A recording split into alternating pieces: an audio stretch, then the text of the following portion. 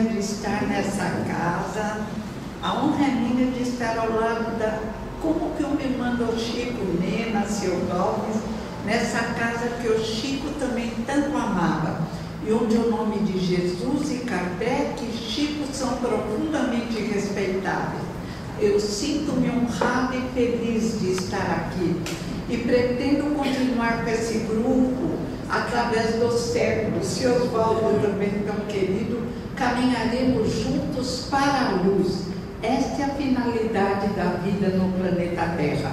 Só carregamos as amizades, o resto tudo fica na Terra. Hoje eu vou falar baseada num livro do meu pai, um pequeno grande livro, ele escreveu encarnado, mas saiu depois que ele já havia desencarnado evolução espiritual do ser. Eu gosto muito da pergunta 27 do livro dos Espíritos e não poderia falar na evolução do ser sem falar na pergunta 27. Quais os elementos constitutivos do universo? Deus, espírito e matéria. Essa matéria, entre aspas, porque sabemos, como disse Kardec, e hoje é confirmado pelo desenvolvimento da física, que a matéria é uma ilusão, que é apenas condensação de energia, que só é compacta para os nossos sentidos. Mas Deus, o Criador, criou tudo que existe de material e semimaterial e criou separado nós, inteligências e morais do universo, princípio inteligente do universo, que nos expressamos no início da nossa caminhada, seres espirituais que estão na terra da necessidade de evolução, como diz também a filosofia existencialista que estuda o ser, a materialista representada por Sartre e Simone a espiritualista por Gabriel Marcel, a espírita, entre outros, por José Mulano Pires. Ser vem da necessidade de comunicação de Sartre, mas é para se libertar das paixões inferiores, ou seja, todos concordam em que temos dentro de nós o impulso de transcendência, de superação dos instintos que herdamos dos animais, do, das necessidades várias que surgem a cada encarnação até que consigamos amadurecer. Aí entra o querido André Luiz, que lindamente no livro Evolução em Dois Mundos, numa verdadeira poesia de amor à vida e aos seres humanos, fala no capítulo O Início da Vida que concorda com a ciência oficial. Quando as condições foram favoráveis, uma geleia cósmica invade a Terra, envolve, e dessa geleia verte o princípio inteligente, a mônada, diz André Luiz. Leibniz, um filósofo alemão, foi que nos apresentou a mônada. Ah, o que é a mônada? Herculano, no livro Agonias das Religiões, também fala sobre a mônada. A mônada é a semente do espírito. A mônada é o nosso início na expressão da vida. A mônada, alegoricamente falando, seria o princípio inteligente, individualizado, e a partir deste momento ele continua sempre individualizado entre nascimentos e desencarnes, revestido de uma porção de energia cósmica condensada. Nessa energia, a condensação é realizada pela lei de Deus, Senhor de todas as coisas, inteligência suprema do universo, causa primária de todas as coisas, fala a equipe do Espírito da Verdade a Kardec. Nunca nos esquecendo que Kardec teve assessoria da equipe do Espírito da Verdade. Por isso, ele é impecável na apresentação da doutrina espírita, tanto quanto o nosso querido Chico Xavier e o próprio Herculano foram impecáveis, porque pela humildade se ligavam à espiritualidade superior. a mônada começa a se expressar, nós estávamos lá nos mares mornos, ou talvez mares ferventes, e das experiências que já acontecem, agradáveis e desagradáveis, o ser espiritual vai se desenvolvendo. O querido André Luiz nos lembra, bactérias rudimentares, vírus, e ele diz: milênios se passam até que surgem as algas nadadeiras, que têm sensibilidade e mobilidade. Milênios se passam. Nós temos uma pressa e o processo divino pedagógico vai lentamente, porque é perfeito e porque termina onde a luz está.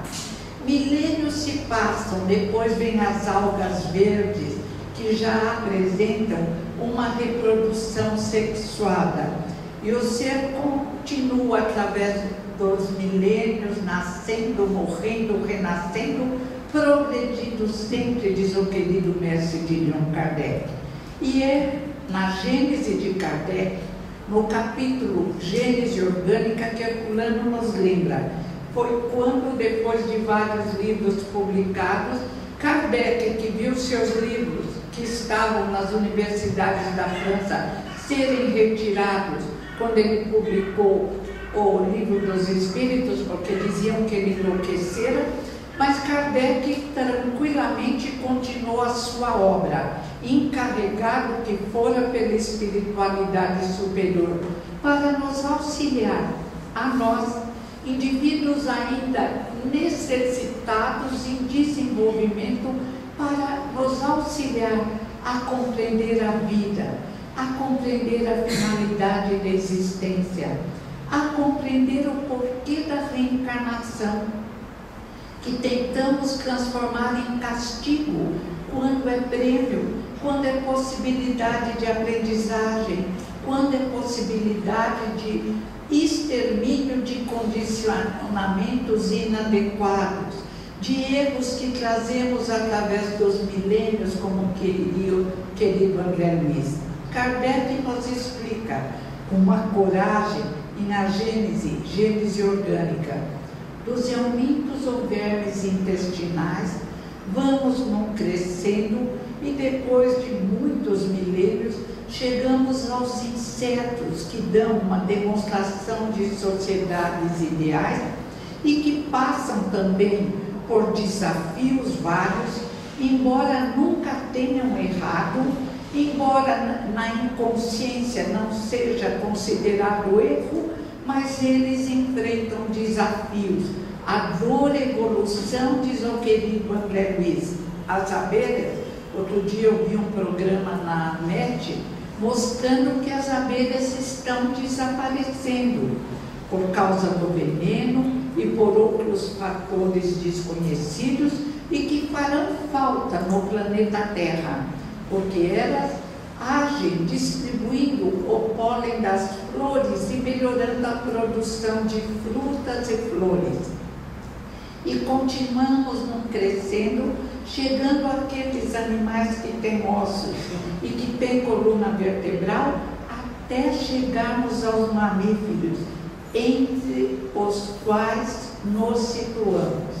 Seres espirituais revestidos de expressão física exatamente para, através dos desafios de um planeta também em desenvolvimento, de um planeta lindo que mostra o amor do Pai para com todos nós, crianças ainda tão pequenas no século XXI, conseguirmos o acender das nossas luzes interiores.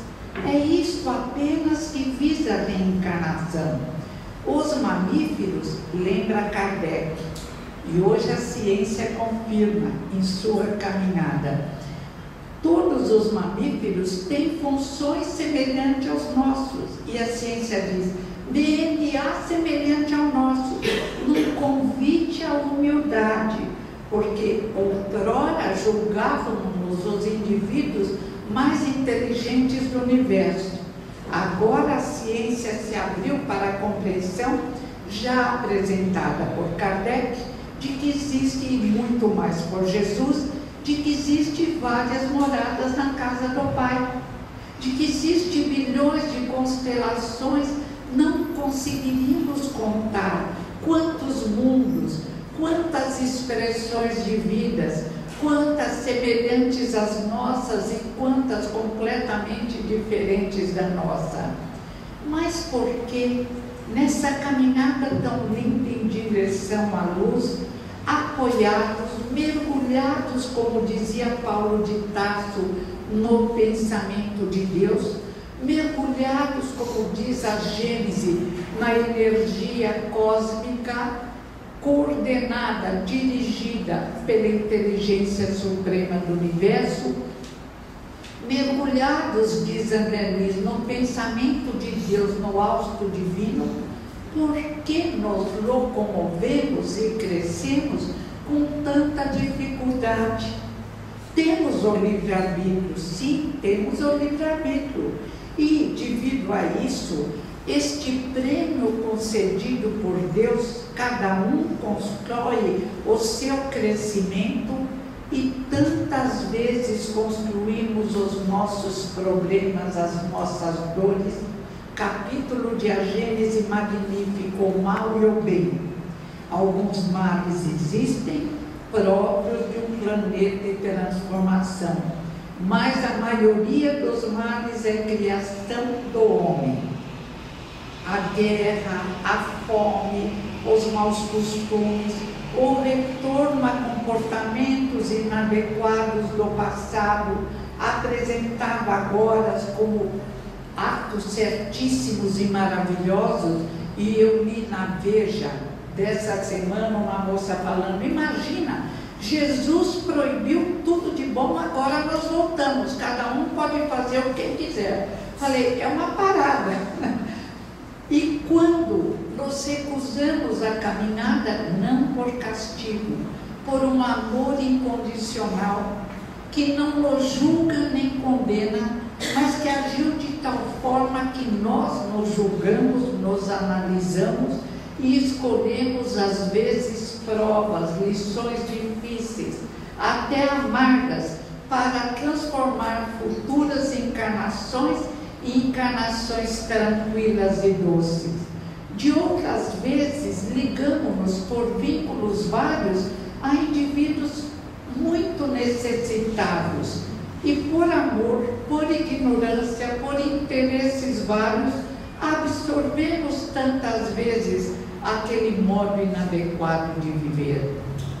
Seres espirituais encarnados, diz Herculano, nossos vetores psíquicos que no mundo espiritual, quando estávamos em condições regulares de compreensão, estavam voltados para a luz, quando reencarnamos, nossos vetores psíquicos se voltam para os interesses terrenos se ligam às sombras, procuram as sombras, se comprazem nas sombras, no imediatismo, na busca do poder, na busca do sexo desequilibrado, na busca de tudo aquilo que tem impedido a nossa marcha vitoriosa através dos séculos.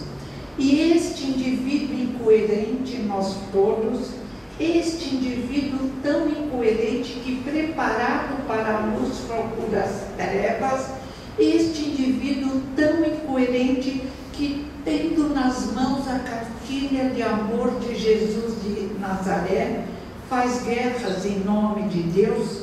Esse indivíduo, como o nosso comportamento demonstra, tão incoerente que tem, dizer fulano, dificuldade em aceitar a sobrevivência após a morte, talvez por medo, talvez por faltar mais esclarecimento e luzes, que não lê os livros, as experiências de Elizabeth Ross, que não é espírita, mas fez um trabalho lindíssimo na compreensão de que a morte do corpo físico não é a morte do espírito, que não lê os vários livros de evangélicos que entraram em estado especial de consciência e deixam seu testemunho, como o doutor Iben numa prova no céu, a doutora Mary no livro Fui ao Céu e Voltei, esse indivíduo incoerente prefere tantas vezes aceitar ou nada depois da morte. E crianças que muitas vezes deveriam ter cursado a evangelização na casa espírita, mas cujos pais acham que é uma tolice, que com o tempo eles vão escolher e ninguém pode escolher senão depositar um material especial para fazer sua escolha, também aceitam. A tese absurda da nadificação após a morte, apresentando várias teorias e até amigos espíritas que, por motivos vários e muitas vezes por falta de esclarecimento e leitura, largaram, se dizem completamente contra qualquer religião, entram nessa onda absurda que provoca desânimo, que provoca síndromes várias, que torna, como diria o querido Jung, um indivíduo espiritualista, e diz uma sua biógrafa espírita, a prima dele era espírita, como diz Jung, se esquece de que precisamos ter no coração esta espiritualidade desenvolvida, que temos que trabalhar a nossa religiosidade, que não se expressa em grandes instituições, mas que se expressa no conceito filosófico do religare, que em todos os instantes da nossa vida, nos momentos de alegria, num sentimento de gratidão, nos momentos de dificuldade, num pedido de ajuda, mas sempre compreendendo que somos seres espirituais transitoriamente em crescimento nessa querida escola planeta Terra e mais tarde nos preparando para continuar na universidade chamada Terra ou, se necessário, em qualquer ponto deste universo iluminado e magnífico que nos acolhe. No outro livro, O Mistério do Ser ante a Dor e a Morte, Herculano nos convoca a exterminarmos os pensamentos depressivos que também impedem a nossa caminhada.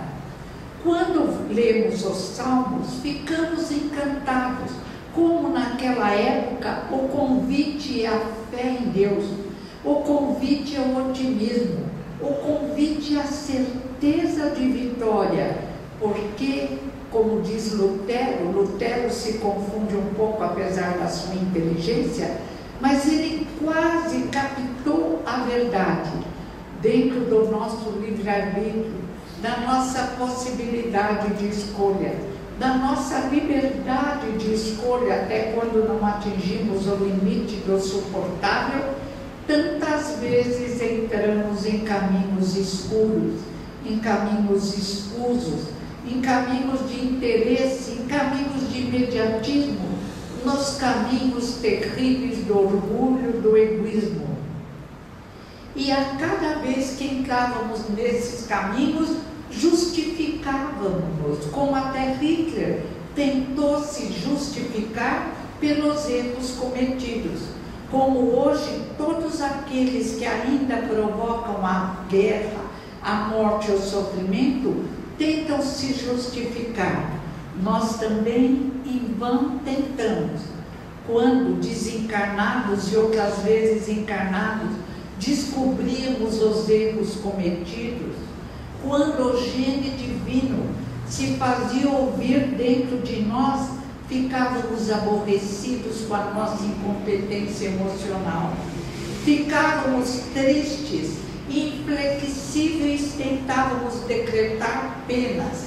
Herculano diz: criamos até no meio espírita a ideia de que estamos fechados num aquário, precisando ser chicoteados pelos capatazes de Deus. dando a esses capatazes o nome de obsessores e de outras vezes outros nomes menos agradáveis, como se Deus, de amor e misericórdia, permitisse que seus filhos fossem maltratados. Não existem capatazes. Não existe obsessores se nós não os atrairmos e muitas vezes obsedá-los. Temos liberdade de escolha e o livro dos Espíritos nos diz: nenhum julgo resiste a uma vontade firme.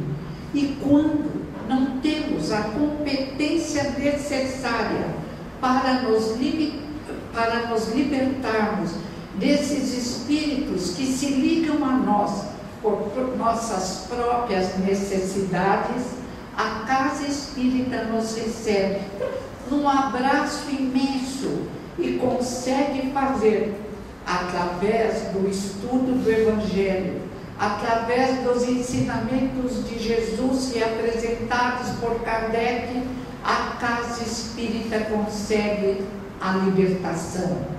Sentimos-nos bem felizes e é quando, surpreendentemente, um grande número de indivíduos deixa de frequentar a casa espírita.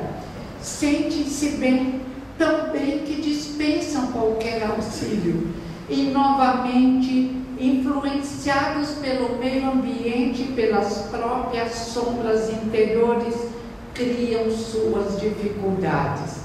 Aí voltam novamente à casa espírita, como disse Jesus, foi retirado o espírito mal nessa historinha linda e simples para que entendamos. Mas o indivíduo não se modificou, não ficou melhor, não acabou com orgulho e egoísmo, pelo menos não diminuiu, continuou fechado nele mesmo, continuou até chamando espíritos mais necessitados julgando que encontraria através de um imediatismo terrível a felicidade sonhada. O poeta já nos lembra: a felicidade é flor sublime que está onde a colocamos e nunca colocamos onde nós estamos. Tantas vezes colocamos a felicidade em coisas tão frívolas e transitórias. Outro dia eu vi dois jovens que estavam colocando a felicidade na compra de um barco caríssimo. E eu pensei, não seria uma hora de procurar colocar a felicidade em problemas tão difíceis? Não seria uma hora de fazer uma reportagem mostrando ao mundo sua riqueza, numa hora em que todos tentam passar desapercebidos, em que temos até que tantas vezes disfarçar nossa alegria de viver, porque o nosso sorriso, a nossa alegria, cuja base é apenas o início, muito pequeno ainda, do conhecimento de Jesus de Nazaré, nos transformam em um indivíduo mais feliz e mais seguro. Esta é a função da doutrina espírita, libertação auxiliar o ser espiritual que se julga e se transforma num ser apenas de carne, se expressando na terrível corpolatria, adoração do corpo físico, se expressando na terrível adoração do bezerro de ouro, que se expressa em altos estratos bancários, nunca em pequenas doses voltadas para auxílio ao próximo, esse orgulho e egoísmo que cria administradores cegos que nada enxerga, que não veem a necessidade dos seus irmãos, que complicam a marcha evolutiva do nosso querido planeta Terra. Mas queiramos ou não, Deus nos faz amadurecer. Este é um determinismo ao qual não podemos fugir. Hermílio Miranda, num livro As Marcas do Cristo, explica bem que vários pesquisadores achavam que Paulo de Tarso não compreendia o determinismo e o livre-arbítrio. É claro que Paulo compreendia. Mesmo porque, quando ele entra em desdobramento na caverna na qual fora após a morte do pai, ele ouvira palavras inefáveis que não poderia dizer. E ele dizia sempre: Não posso ainda dar alimento sólido a vocês. Vocês preferem o alimento líquido. E Kardec veio nos trazer o alimento sólido. Jesus também sabia das nossas necessidades e disse a Nicodemos: Se não me entendeis quando vos falo das coisas da matéria, como me entendereis se vos falasse das coisas do Espírito? Mas agora temos acesso a uma compreensão maior, não a verdade plena, porque não a compreenderíamos. Ou como diz Sócrates, sábio aquele que compreende que nada sabe, que tem muito a estudar, mas o pouco que conseguimos aprender com Jesus, o pouco que conseguimos compreender com Kardec, já tem que nos transformar em indivíduos melhores, seres espirituais mais tranquilos, seres espirituais que confiam em Deus, no auxílio espiritual, mas confiam sobretudo em si mesmo, porque tendo dentro de nós a marca de Deus, herdeiros que somos desta inteligência suprema do universo, convocados que somos para a grande preparação para de indivíduos que se arrastam na terra, como diz o livro dos Espíritos, se fossem apenas lagartos, nos preparemos para os voos mais altos em direção à compreensão. O Senhor Deus é meu pastor, nada me faltará. Salmo 23. E a Gênese de Kardec esclarece um capítulo magnífico que dilata a nossa fé, que aquece o nosso coração, que nos faz sorrir felizes porque compreendemos que estamos envolvidos por essa luz maravilhosa, não nossa, mas que verte de todo o universo para nos conduzir a caminhos melhores, para nos despertar para um comportamento mais adequado, lembrando o horário e vigiar de Jesus, lembrando o conselho de Paulo, afastai-vos das más companhias, evitai a devassidão, evitai todas as sombras que possam impedir nossa caminhada. Somos indivíduos, embora o nosso livre-arbítrio, devido nossas necessidades emocionais, devido à nossa falta de controle emocional, mas ao mesmo tempo, graças às nossas luzes interiores, às nossas possibilidades luminosas, nunca fomos convidados ao sofrimento e à dor. O convite é a alegria, o convite é o crescimento espiritual, o convite é nos libertarmos do orgulho, do egoísmo, da escravidão, a todas essas amarras pesadas que continuam fazendo com que os nossos vetores psíquicos fiquem mergulhados no barro da terra. O convite é a liberdade verdadeira demonstrada por São Francisco de Assis, por Irmã Dulce, por Madre Teresa, por Chico Xavier, por vultos brilhantes e luminosos, entre os quais surge o mestre dos mestres, Jesus de Nazaré, que para nos impulsionar, seres espirituais, vestidos e voltados para a escuridão do barro da terra, compreendermos a nossa grandeza, as nossas possibilidades e realizarmos os voos maiores do pensamento, da prece, da perseverança na casa espírita, do evangelho no lar, da evangelização das nossas crianças em casa e na casa espírita, libertando-nos da dor, da fraqueza corporal, da fraqueza espiritual, de todos os empecilhos da nossa marcha seres espirituais, compreendemos-nos apenas como seres de carne. Seres espirituais, tememos a morte, como se nunca houvéssemos morridos. Seres espirituais, tantas vezes vivemos apenas para o que comer o que vestir. Quantas vezes mentalidades preciosas que caminham para a luz do ponto de vista tecnológico, nas descobertas científicas que nos encantam, na possibilidade que outro dia me deixou fascinada, parada, de um futuro bebê ou um óvulo com um núcleo defeituoso que trazia em si uma morte, uma fatalidade, ser possível de fazer com que, dizem os japoneses, tirar aquele núcleo doente e colocar o núcleo sadio. O bebê teria a herança dos pais e o bebê teria uma vida sem grandes problemas. Lembrando ainda o querido André Luiz que nos diz: somos também herdeiros de nós mesmos. E o livro dos Espíritos que nos diz: cada indivíduo tem sua personalidade.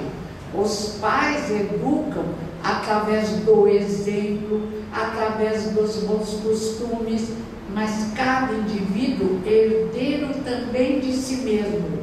Porém, o meio ambiente é muito importante, porque nós vemos que, conforme os costumes de cada região, os indivíduos se expressam de uma forma ou de outra. O modo de falar, o modo de pensar, o modo de agir.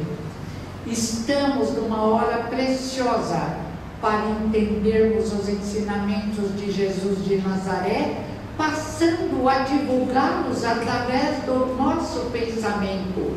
Em qualquer local onde estivermos, podemos nos expressar como o fermento que libera a massa, sem grande alarde, sem fazer sermão que irrita demais as pessoas, pelo sorriso, pelo pensamento de gratidão a Deus, pela compreensão da fragilidade daqueles que apresentam mais dificuldade, pela oração, numa ligação com, que existe no meio ambiente também com as ondas de luzes que possibilitam o nosso crescimento.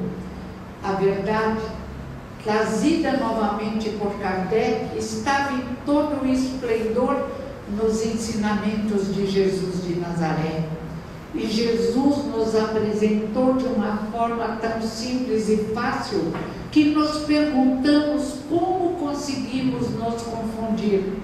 Mas como iríamos fazer as grandes confusões, até mesmo depois do trabalho magnífico de Paulo de Tarso, que lutou bravamente contra ideias judaizantes, contra modificações várias, mesmo depois do trabalho de Lutero, que veio para provocar o retorno à base dos ensinamentos de Jesus de Nazaré, foi necessário que viesse Allan Kardec, trazendo a mesma verdade, trabalhada agora à luz das ciências do século XIX. Se Jesus nos convocou a compreensão da força do nosso pensamento, a possibilidade de libertação de doenças, a ciência nos explica tão bem, falando até a ciência tradicional sobre a importância do placebo. Uma bolinha de açúcar que só é preciosa e eficiente devido à firmeza do pensamento daqueles que julgam que estão tomando remédio. E muitos se curam com placebo, outros através da força do pensamento, e claro, o Espiritismo não dispense nem poderia o fruto de conquistas milenares, a medicina, a psicologia, a psiquiatria, todo esse progresso permitido por Deus na libertação do karma negativo. Libertam o karma negativo os educadores, os cirurgiões, os médicos, os psicólogos, os psiquiatras, os advogados, mas também os indivíduos anônimos, aqueles que trabalham em nome do amor, aqueles que, cuja presença já nos dá vontade de evoluir, serenos, simples, poucos preocupados com as coisas materiais, voltados para as coisas espirituais, conseguem impor ao mundo um novo padrão de comportamento, conseguem impressionar a todos nós, crianças, deslumbradas com um mundo cheio de ofertas tecnológicas. Agora vai surgir um carro que anda sozinho e já está uma discussão se o indivíduo que vai vigiar ainda o carro deve sentar atrás ou na frente. Crianças, descobertas magníficas, mas todos nós, Herculano diz no livro O Bem ou Mal, não existem professores no Espiritismo. Somos todos alunos, todos somos alunos. E estamos tantas vezes deslumbrados. Hoje, senhores, senhoras de toda idade, crianças, às vezes parecem crianças muito pequenas, no restaurante, no celular, com televisõezinhas, em casa às vezes perdem horas preciosas com novelas interessantes ou novelas horrorosas, mas é um mundo cujas seduções aumentaram mas ao mesmo tempo o ser espiritual amadureceu. E na medida em que amadureceu, está apto a saber selecionar o que pode lhe provocar crescimento espiritual e o que é apenas desperdício de tempo, o que pode realmente ajudá-lo. Outro dia eu falei para minha auxiliar, estava se queixando de tudo. Eu falei, ela é evangélica. Você tem ido à sua igreja? Eu não tenho tido tempo. Falei, para, para já. Tem tempo para tudo. Aí eu fui até um pouco desagradável. Tem tempo para tudo. Pode ter tempo meia hora para ir à sua igreja evangélica. Vá lá, ore. Hoje ela veio me agradecer, falou, ah, eu estou, que eu melhorei. Falei, mas não é para deixar o remédio, entendeu? você precisa sempre ir lá tomar o seu remédio. Se ela se sente bem lá, que vá lá. Se ainda não consegue compreender a mediunidade, que fique lá, mesmo porque poderia fazer confusões diante de alguns problemas que consideram complexos. E bastaria ler é, Paulo de Tasso na primeira epístola aos Coríntios, Kardec no livro dos médios, o livro de Ernesto Bozano, Manifestações Supranormais entre os Primitivos, para compreender que o problema é fácil. Não importa, se está bem lá, fique lá. O que não podemos considerar é um indivíduo, um ser espiritual que passa pela vida em brancas nuvens, que não quer saber de nada que exige esforço e pensar, a minha filha brinca com a ajudante dela quando diz, eu pensei, ela fala assim, doeu muito. Para não falar isso, coitadinho. Mas realmente é necessário refletir, é preciso ler. Se somos simpatizantes do Espiritismo ou se somos espíritas, estamos como seres espirituais no melhor momento da nossa libertação mas que libertação é essa? Dos capatazes de Deus? Dos obsessores? Não. Libertação de nós mesmos, das nossas sombras interiores, do nosso costume de complicar, de criar teorias absurdas, de complicar a nossa marcha em direção à luz, do nosso costume de esquecermos tantas vezes de com jeito explicarmos às pessoas que oração é o maior remédio que existe no planeta Terra e que a ligação com a espiritualidade superior provoca uma reação orgânica, permitindo que consigamos um crescimento no nosso tratamento médico, permitindo que consigamos o que muitos julgam milagre, mas que apenas a força da medicina, a força da ciência unida à nossa força interior. Porque, disse Jesus, teu pensamento cria, se olhares para a mulher cobiçando, já cometeste adultério.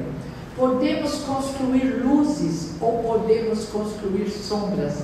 Podemos auxiliar o desenvolvimento daqueles que, estamos a, que estão à nossa volta, encarnados ou desencarnados que nos observam.